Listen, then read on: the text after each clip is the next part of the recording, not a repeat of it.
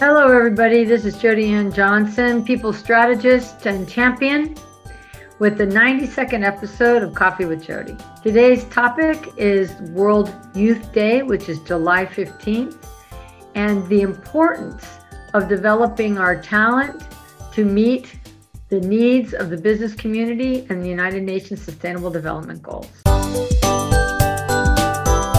Let's look at two scenarios. One, you're a young person whose school and education has been disrupted over the pandemic. And the other is that you're a business owner or a recruitment professional and you're looking for talent. What a mismatch over the last 18 months. And that's just over the last 18 months. We can look back at conversations regarding the lack of talent in many industries for years and years, particularly in Miami Dade, South Florida. Did you know that young people between the ages of 15 and 24 have been even more severely affected by COVID-19 crisis than the adults have? Globally, youth employment fell 8.7% in 2020 compared with 3.7% for adults. Most young people are going in to entry level positions and those positions were actually decimated if you think about the hospitality industry,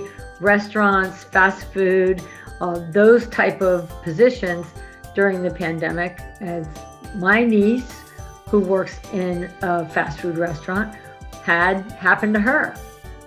Many of these facilities were closed down and no, they weren't hiring. Now that they're starting to open up, we're finding that there are shortages in that industry, but there are shortages in every industry. UNESCO estimates that schools were either fully closed or partially closed for more than 30 weeks between March of 2020 and May of 2021, affecting over 157 million students around the world. The consequences of this disruption in the early labor market experience of the youth can last for years and years to come.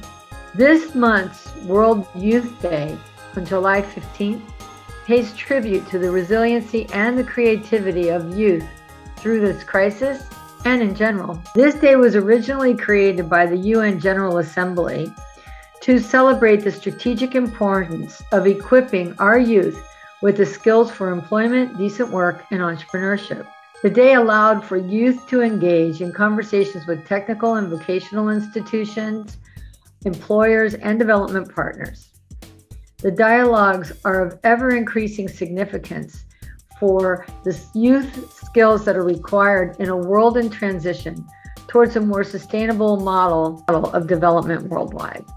Education and training are central to the achievement of the United Nations 2030 Sustainable Development Goals, and just as importantly, to every business and business owner around the world. I am involved in a lot of recruitment with my clients, and we might go through two, three, four group interviews, countless uh, job postings, and platforms for recruitment even going to recruitment agencies that are charging, you know, 15, 20, 25, 35, 40% of an annual salary to bring people in at almost any level of work, whether it's a, a, a receptionist all the way through, you know, a physicist. The labor out in our world is in short supply. Couple that with the number of people who got laid off during COVID or who were off during COVID and sat back and just said, hey, you know what? I don't know that I want to work for an organization that doesn't value or respect me. Many people have started businesses of their own, which takes even more talent out of the labor market. It's important that we as business owners and parents are engaging in internships that allow for our youth to be exposed to the kind of experience they need in the work world and for us as business owners to be able to evaluate talent that comes through our internship programs.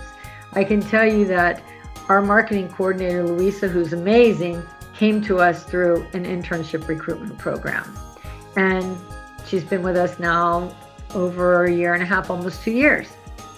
So, all of that said, yes, we want to celebrate the creativity, the resilience, the, the absolute brilliance of our youth and bring that together with internship programs that allow us to benefit from one another because we've had exposure to talent and talent has been exposed to us.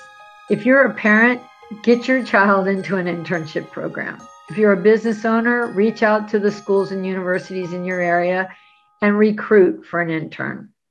One of the best ways that we can get talent and invest in our youth is through an internship program.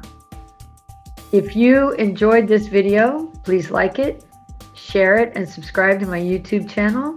And if you'd like to find out more about how internships and or business coaching can benefit you and your business, please schedule a discovery call with me by using the calendar link below.